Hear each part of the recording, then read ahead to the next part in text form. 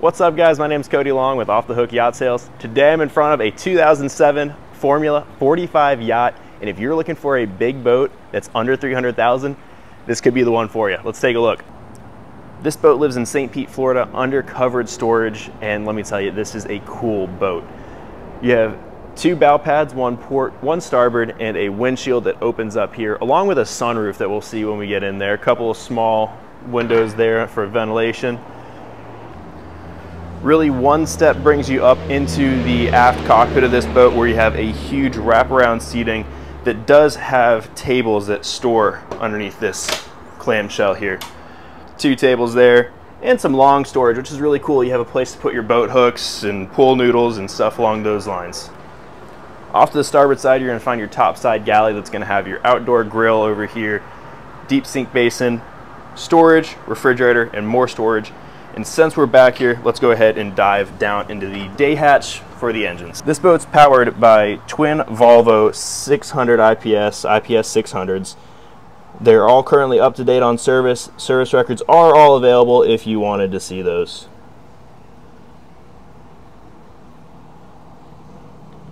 Put a quick wrap around in there. We're going to go ahead and move forward where you have a nice size seating on the port side, all underneath shade and cover. And starboard side, an extremely wide captain seat. You could really fit three people here. It's super comfortable. All Raymarine electronics on board. And this boat currently has 22, just over 2,200 hours on it. Like I said, this boat does have a sunroof up on top that'll open all the way up and make your cockpit nice and airy and be like you're outside. Especially this front windshield open, it is extremely nice to run this boat, even on hot summer days. We're gonna work way up front here.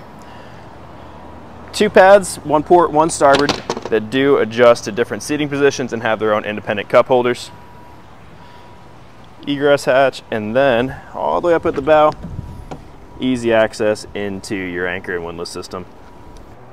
All right, so moving down into the cabin of this boat, it has so much storage for your longer trips.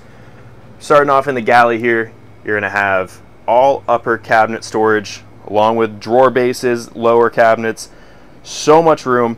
You have your built-in microwave, two burner cooktop, trash can over here, and something I really like too is that you have this lip all behind the countertop here. It's for a little bit extra storage so things don't move around when you're running. Full size refrigerator with more storage over top of it. Plenty of lighting with some frosted skylights here. Moving off to the starboard side, you have a giant TV right here in the dinette that has these cool little removable stools here so those can come out but you have plenty of room for all of your guests. Radio control down there with Bose sound system. More storage and then another little lip here for a little bit extra safekeeping. We'll move off to the master suite here in the V-berth. This does close off with a pocket door that slides out here.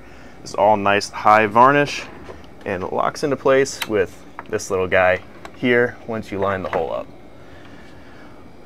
Off the port, you're gonna find a independent shower, and this is a huge shower for a 45 foot boat. Really any boat, you have a ton of room in there to turn around. And then off to the starboard side, you'll have your dedicated head for the master. More storage in there.